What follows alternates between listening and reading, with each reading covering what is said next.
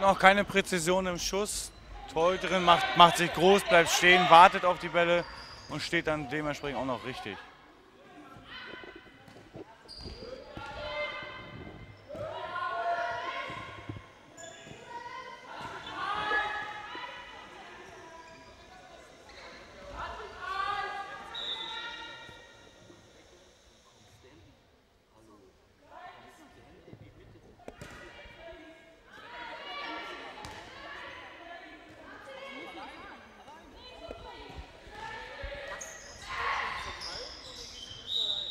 Auch wenn es äh, jetzt noch ein bisschen ruhig ist noch in der Halle. Äh, für die zweite Mannschaft sicherlich sehr motivierend, dass noch sehr, sehr viele Leute in der Halle geblieben sind. Hier nach dem äh, tollen Pokalspiel von Grün-Weiß Schwerin 1. Und sich das Spiel mit angucken. Und jetzt erstmal das Tor für Rostock Süd. Wieder auf der Seite Klasse durchgesetzt, bereit ihr dritter Treffer. Ah, gelbe Karte für Julia Hahner. Wenn die zweite gelbe Karte äh, für Grün-Weiß Schwerin.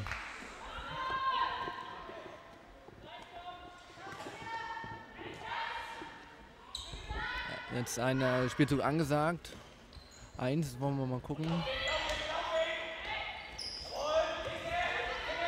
Jetzt wird da getauscht. Versucht die Möglichkeit äh, zu schaffen. Und es gibt Gelb gegen die 5 von Rostock. Und es ist klasse gespielt. Jetzt auf den Außen von Julia Harder. Das hat sie schön gesehen. Und 6 zu 5 für Ja, Schwerin. genau, Spiel breit machen. Ball passen von links nach rechts, bisschen Druck aufbauen, dann ergeben sich solche Möglichkeiten, die dann dementsprechend auch genutzt werden.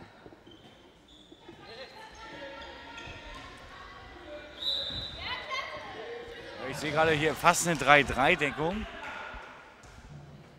die aufgelöst wird durch einen zweiten Kreisläufer, aller Voraussicht nach. Ja, das, hat man ihm, äh, die Absprache mit dem äh, Trainer soll ich in den zweiten Kreis machen, nachdem sie rausgenommen wurde. Und genau das sagt der Trainer auch. Und stellt Schwerin neu aus, jetzt stellt Rostock. Aber sie kommt nicht hoch zum Wurf. Theresia Meissner ist da und Laura Fischer kann den Ball dann halten.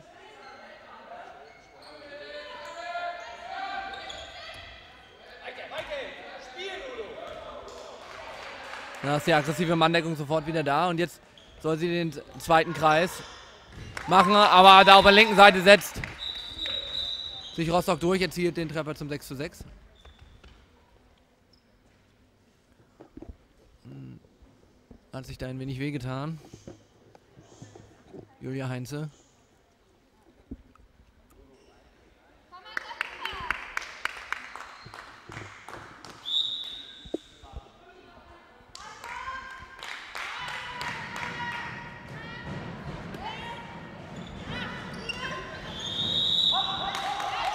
Schrittfehler gepfiffen.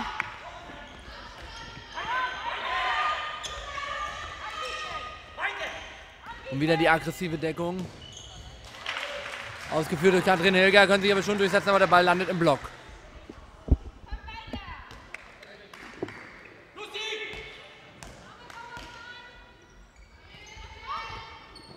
Na, na, bahnt sich hier auch wieder ein technisches Fehlerfestival an.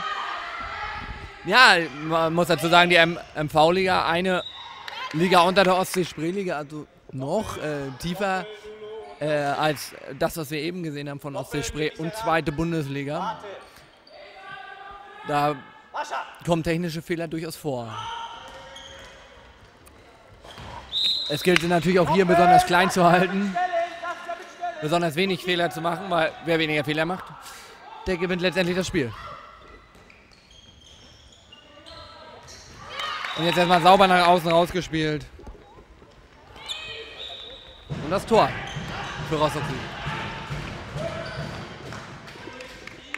Fehlpass von Julia Hahner. Sicherlich gut gedacht, aber das Spiel einfach in die Mitte zu öffnen, wäre vielleicht in der Situation einfacher gewesen. Und vielleicht auch sinnvoller.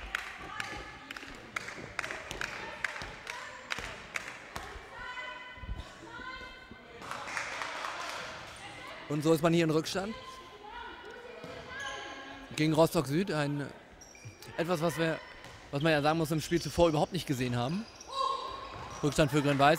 Jetzt wollen wir mal gucken, wie die junge Truppe, der Neuling, damit umgeht. Und das sieht ziemlich gut aus, weil das ist ein Konter. Schiller, Tor. 7 zu 7.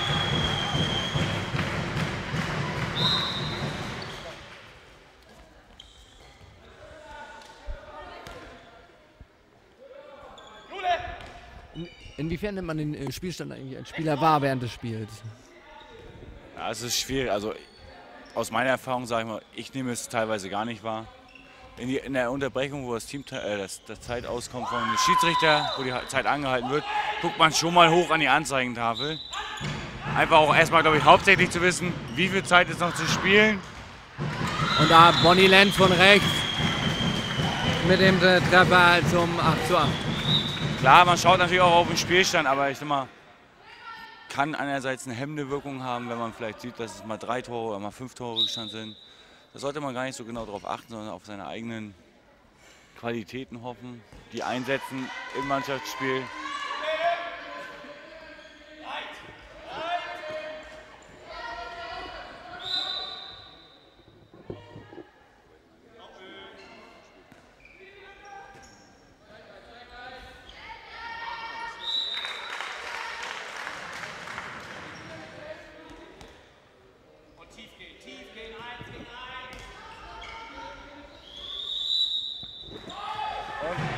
Wieder ein technischer Fehler. Schade weggeführt vom Schiedsrichter, natürlich. Da, wo es passiert, muss es ausgeführt werden.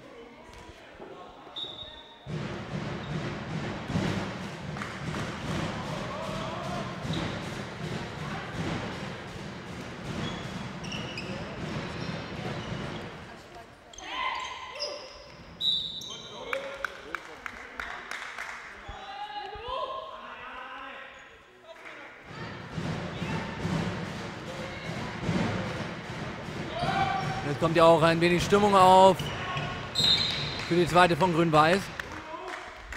Was ja auch als äh, Perspektivmannschaft äh, gedacht ist für die erste Truppe, da es ja keine A-Jugend Oberliga mehr gibt in Mecklenburg-Vorpommern. Man keine Perspektive hatte für die Regionalliga und daraus aus der Not, Not eine Tugend gemacht und diese zweite Mannschaft eröffnet hat. Ja, Schwerin hat noch nicht die richtigen Mittel gefunden, um diese großgewachsene Abwehr zu bespielen sich Situationen zu erschaffen, um vielleicht mal zu einem einfachen Torerfolg zu kommen. Sind etwas planlos, bisschen kopflos. Bleibt abzuwarten, wie sich das im Laufe der passive Spiel angezeigt und äh, der Abwurf dann von nächsten Minuten entwickelt.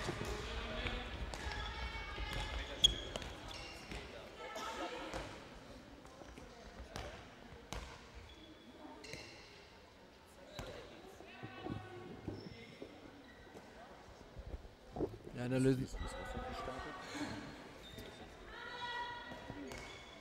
Jetzt sehen wir wieder, wie Rostock äh, diese Manndeckung auflöst, indem die Spieler entweder in den Kreis oder nach außen an die Außenposition gehen.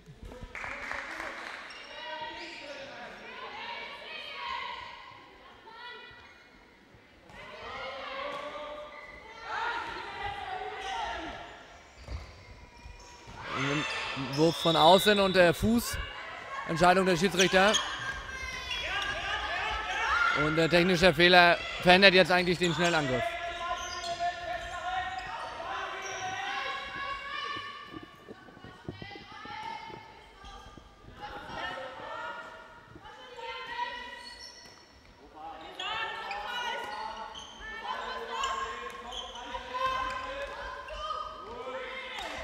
Schön äh, den Fehlpass unterbunden. Rechtzeitig gesehen, dass die Abwehr da rausgerückt ist.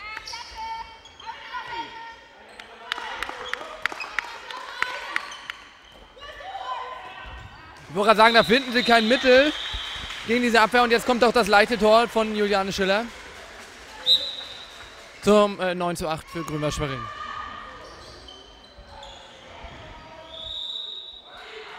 Und jetzt gibt es äh, Freiwurf für Grünwald Schwerin. Ja, technischen Fehler provoziert. Und damit neue Spielsituation. Und dann der Doppelpass. Oh, schade. Da war nicht drin, es bleibt beim 9 zu 8. Na, Schwerin lässt jetzt schon die Köpfe hängen. Warum tun sie das? Und eben sage ich es auch, hoffentlich nicht so viele technische Fehler. Ja, und jetzt Schwierigkeiten beim Empfang, aber der Ball ist drin. 10 zu 8 für Grünwald Schwerin.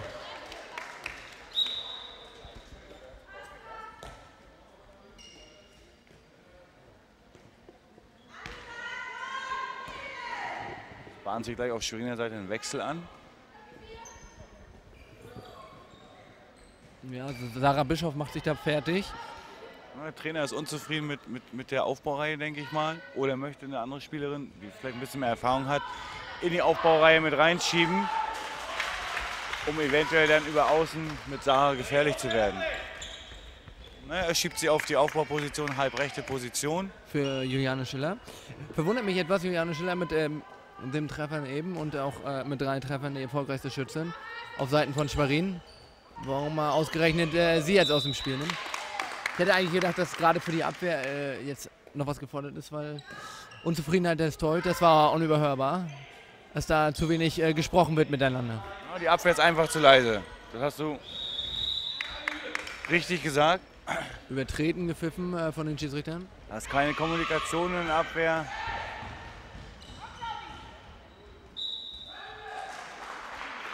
Die Übergabe zwischen den Spielerinnen ist noch nicht vorhanden. Das Timing ist nicht da. Bleibt abzuwarten. Und jetzt Auszeit genommen äh, durch Rostock Süd.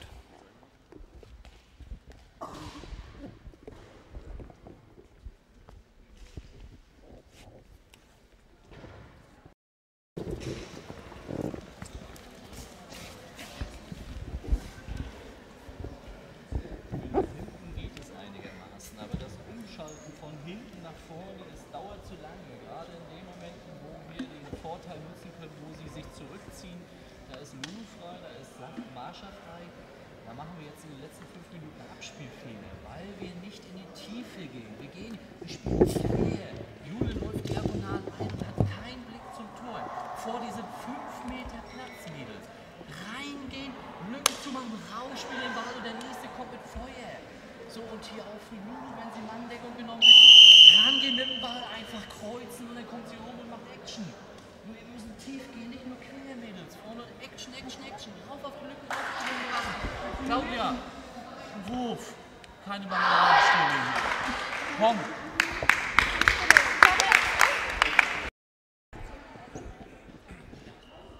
Ja, Roberto, wir haben ein bisschen reingehört jetzt bei äh, Rostock Süd. Er meinte, sie sollen tiefer gehen und äh, die Lücken suchen und dann ein bisschen Action machen, nicht so eine Standwürfe. Ja, hat er aber auch gut, gut gesagt. Also es ist wirklich äh, teilweise ein Querver eine Querverschiebung ist auf jeden Fall vorhanden, aber die Stoßbewegung in die Tiefe zeitweise oder gar nicht. Und das ist das, was der Trainer jetzt gerade nochmal gefordert hat von seinen Mädels.